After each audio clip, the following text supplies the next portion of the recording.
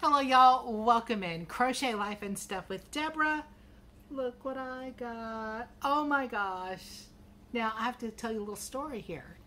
Um, got an Amazon delivery, as we do around this house a lot. Prime members, y'all, order everything, okay? And the hubby was expecting something else for him. He said, Well, that's early. And then he realized the package was addressed to me, handed it to me, and I'm like, don't have an Amazon order right now. What? So I opened it up. There's no note, no name, nothing in there. Now, mind you, this has been on my wish list, or had been on my wish list, it's off there now, for almost a year. I looked at the date that I put it on there, and it was almost exactly a year ago. So, wow, somebody got me this. That's so cool. And then I remembered that Joe, Garden State Gardener, if you've never checked out his channel, he's a lot of fun. He does uh, Sunday Fun Days, and he does on Mondays. He's changing the format of that, but it, he was doing uh, like pierogi Mondays, which was hot taste foods and stuff. Hot taste, hot taste is mine. He does like hot foods and stuff. Um, just an all around really super nice guy. He gardens like crazy, and he works too much. Okay, something I'm pretty familiar with and I'm a member of his channel. Uh, being a member, I'm not monetized, so I can't have members. But, you know, different creators do different things for their members. And for his members, like every other month, you get some kind of a member gift. And he had told me in a live some, at some point, oh, your member gift is scheduled to arrive whatever day this came in now, I don't remember. So that dinged in my head, and I went, oh, maybe this is from Joe. Turns out it was. Joe, thank you so much. I really appreciate this because this is something that I have been wanting, but then I won't go buy for myself because who knows why, you know, whatever. But so many cute things in this book, y'all. So many cute things. Let's jump into the book because cute critters. 26 easy amigurumi patterns. And I have glanced through it, and yes, they do look pretty easy. The cover just has such a nice feel. Yeah, it's not papery. It's like, I don't know, I can't really describe the texture. Look at this cute little baby. And I think that's one of the harder ones um, in the book, one of the more difficult ones. And by more difficult, they're all supposed to be pretty easy for a beginner. And even if you are a super beginner, there's an introduction, welcome to the world of amigurumi, with really nice photos in here too. Even just, you know, picture of yarn. Who doesn't love yarn, right? Um, it tells you about getting your supplies together and what you will actually need. It tells you about crochet hooks and crochet hook sizes and what she is doing hers in is Bernat Super Value, which is a, a four weight yarn. You can use any four weight yarn you like, but she's really trying to break it down. By the way, the author is Sarah Zimmerman, trying to break it down for the absolute total noob. And if you are a total noob to reading a pattern as well, this might be a good way to start. Um, tells you about the stuffing, about what you need to make the faces, other essentials like you know how to weave in your ends as far as what you need to do that as well talks about abbreviations, US terms versus UK terms. So just all kinds of great stuff for the beginner. And also stitches. How to do some stitches. Now there are tons of stitch tutorials on the YouTubes. I even have a few, right? Find whoever your flavor is for stitch tutorials and follow them. We all do things differently. There's not really a wrong way you know, to hold your hands or do things. I don't hold my hands the way most crocheters do. I do it a little differently. We all do. I have stitch tutorials. Lisa Ladybird Loves has some great stitch tutorials. Even Crystal Bag a Day puts out stitch tutorials. Everybody does. Um, Creative Grandma does. There are so many people out there with stitch tutorials. Just find the ones that work for you. Talks about single crochet, half double, and double. And I think that's pretty much all you're going to use in here for the most part. Tells you how to make a magic ring. I've got my not magic ring tutorial. Let's see. Um, that's a nice short thing and easy to do. Increasing and decreasing really goes through the basics. And then how to finish, how to put that puppy together, basically. I mean, it doesn't say that, but it's how to put that puppy together. Um, tells you how to stuff it, how to join the parts, how to close up pieces, how to add details. Really goes through step by step. Even how to stuff, like how to stuff those legs and stuff when you're making the, the puppy and stuff. But yeah, and joining the parts, there's a section on that with pictures, with the needle going in different places. Tips about placement of appendages. I'm not kidding. That is a subheading right there. Appendages. All right. But it really does, and how to weave in your ends, um, how to put those eyeballs on there, and stuff like that. Yeah. She really starts from the very beginner, but I don't think you have to be like a super beginner to do something like this. I have made some like little stuffies before. One I followed a pattern for, and that was for a cat toy. I was proud of myself for following that pattern because I, I managed to actually do it. Um, but for the most part, I just kind of wing it. So there's that. Look at the picture of all those cuties. Okay. And then there's patterns A to Z. Um, and most of, oh my gosh. And the very, they all have names. They all have names. This is Alex the Alligator. Isn't Alex adorable? And the size when finished, so this is done in four weight yarn, okay, with an H crochet hook, which is, I believe, a five millimeter. So nothing crazy small, nothing super teeny tiny. This is made to be a little easier. Now, if you wanted to make it super small and tight, you could probably use a smaller thing and a smaller hook and do that. But, you know, for those of us who are new, let's start with this. But yeah, Alex the alligator is adorbs and there's several pages in there of patterns. It's not like, okay, do this part of section 1 73 times. No. No, it's broken down for you. Look at this. Benny the bear. Benny is adorable as well.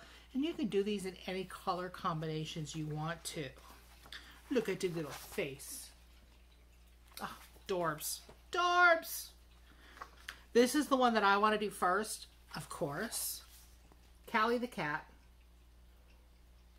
Look at that sweet kitty. In this one, it says, um, minimal embellishments make this one of the easier projects and the color possibilities are endless. And most of these are about 10 inches tall by 8 inches wide. So maybe 18 centimeters tall-ish. I'm trying to just guesstimate the conversion there. So they're not huge. But yeah, the kitty is super cute. Dash the dog is adorable.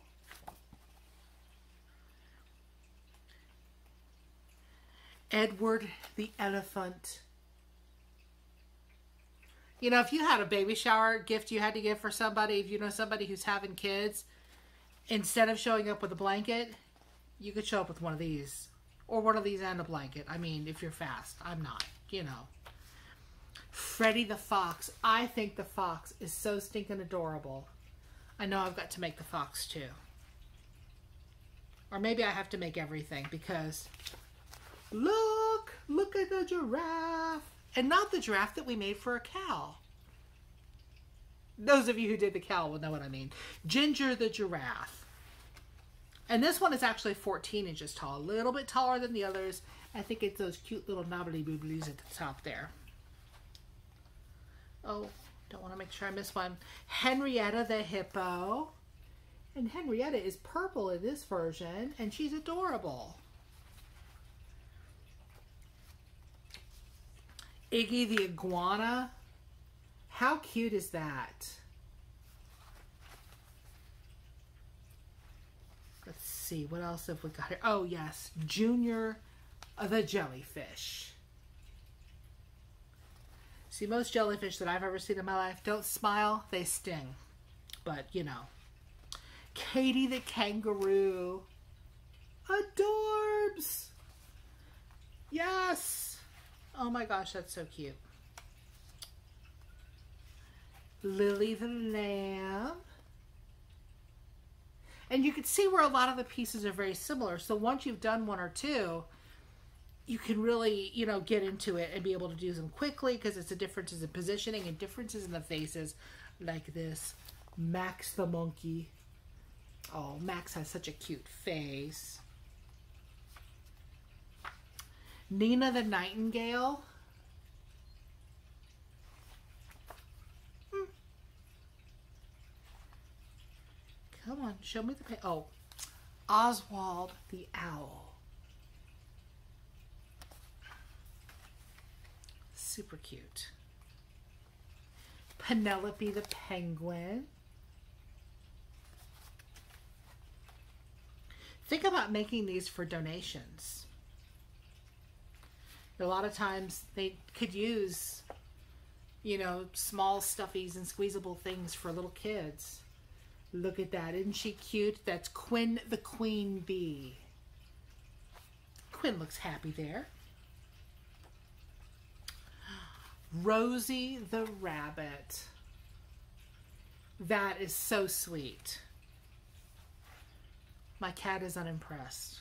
He's like, You have a squishy right here. Mm-hmm. Sammy the Snail. It's a snail you wouldn't mind having around your garden. Doesn't eat anything, or doesn't eat much anyway. Tina the Turtle. I think this turtle is stinking adorable. So simple and just, you know, not a lot of details in it, but it's just cute the way it's put together. And this is what was out of that other page. Uniqua, the unicorn. Look at the unicorn. I think there's a better picture of that face too. No, that's the same angle. Blast it.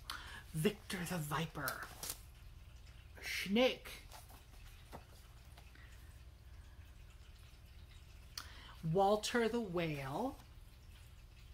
When I saw that the whale was named Walter, I had to just, you know, give a little little bit of nostalgia. Um, my grandfather, who passed on, oh gosh, 25, 28 years ago now, he had heart problems his whole life. He was one of the first people that Dr. DeBakey did open heart surgery on. So that was a long time ago. And um, he always was involved in church and stuff. And he loved summer church. What was it called? Vacation Bible School. That's what it is. I was already older by this time. But the year that he passed away, right around Vacation Bible School time, he was, they made a big whale. You know, everybody had gotten together to do this thing for the kids and he was going to be Jonah coming out of the whale. And his name was Walter, not the whale, my grandfather. So, yeah, that that sent me a little bit of nostalgia there. Yeah, the hubby never got to meet my grandfather. He passed before we met. So, here's Xavier the X-ray fish. That's super cute. I could see that going some like darker way with some creepy stuff for Halloween because that's how I work. Yolanda the yak.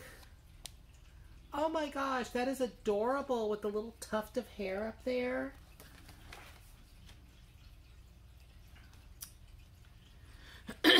Xena the zebra. Changing color that many times looks to me like a pain in the boutte, but Oh, and it says carry, just look at the top, talk, uh, because I was thinking about that. You can carry your yarn along the inside of the project as you go. No need to clip off and reattach for each round. That just made it 10 times easier. That's the last one. Plus, there's an index full of just not, not just the projects, but also just different terms. Um, I think it's a nicely put together book. And I think I'm going to enjoy it. I've got to take some time to sit down and do this along with every other stinking project that I have going on and that I want to do. Yeah, still looking for more hours in a day. Maybe I need to try that watch thing that Crystal does. You know, more watches gives you more time. Work as well as anything else, right? Anyway, thank you for coming by for this book look. I haven't done a book look in a while. I have a ton of books that I want to do for it, but I just got this in and I got super excited. So I had to share it like right now. Right now. So cute. Thanks again, Joe. And uh, I hope y'all have a wonderful rest of your day. look for this on Amazon or at bookstores near you, I guess. I don't know. But cute. And a bunch of people have this now. I think we should do like some kind of a crochet along, but I'm not going to start it because ain't got no time. Ain't nobody got time for that. Really, really don't. Thank you though. See y'all very soon.